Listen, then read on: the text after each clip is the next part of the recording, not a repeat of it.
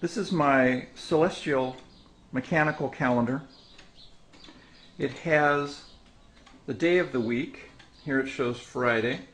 It has the phases of the moon. We just had a full moon a couple of days ago, so you've got to come way around back to see the dark side of the moon. It shows the day of the month. Today's the 21st, and this is going to advance from the 20th there up to the 21st when we operate the calendar.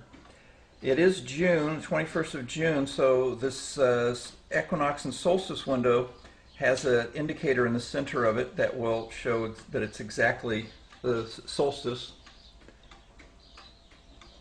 Here we are, it shows that it's June, and we're just leaving Gemini going into Cancer on the zodiac. This part shows the synodic rotation of the three closest planets, this being Mercury, Venus, and Mars. This part shows when they go into retrograde. This is the length of time that Mars is in retrograde. Here's for Venus, and you can see that Mercury is just coming out of retrograde at this point. When this comes around, lines up with that line, it's in retrograde. So this one's just, just leaving retrograde. This part of the calendar is the end of month advance. So it knows by a cam uh, if the month has 28 days, 30 days, or 31 days, and it advances it appropriately. This part up here is the mechanism that moves the entire clock, the entire calendar.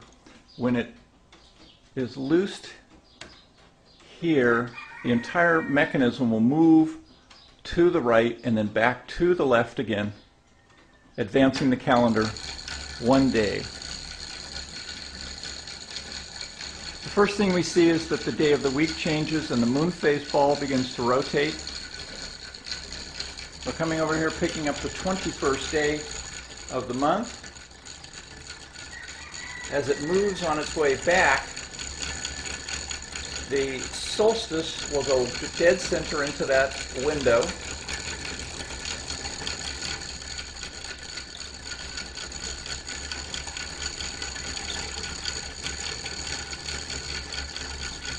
and then it will lock into place ready for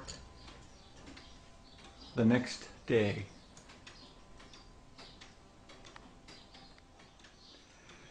Today is July 1st, 2008. The celestial mechanical calendar is still set for yesterday, Monday, the 30th of June and it shows that we have passed the solstice. The solstice is no longer showing up in the window. And that Mercury is still on its way out of retrograde. It'll be out on July 4th. The moon phase ball shows that we're going into a new moon shortly. And when I throw the levers, this arm tells the calendar that there are only 30 days in June and advances the day wheel past the 31st to pick up the 1st of July.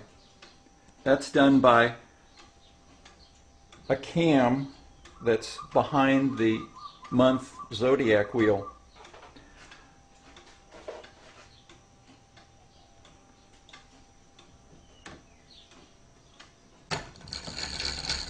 First thing we see is that it'll move from Monday to Tuesday, and at the same time, this arm is coming over and picking up that pin, pushing it forward a day.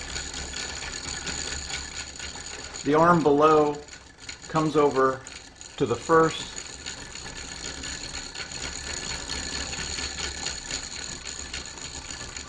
advancing it to Tuesday, the 1st of July, 2008.